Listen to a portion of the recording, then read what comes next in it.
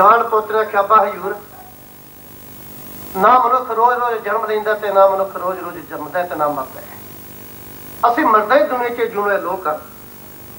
ਔਰ ਮੇਰੀ ਬੇਨਤੀ ਆ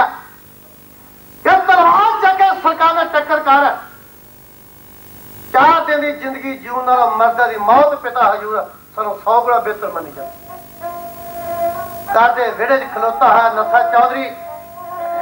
ਕੁੱਟ ਕੇ ਮੁਤਾਸ ਦੇ ਨੂੰ ਕਾਜੇ ਨਾ que oh,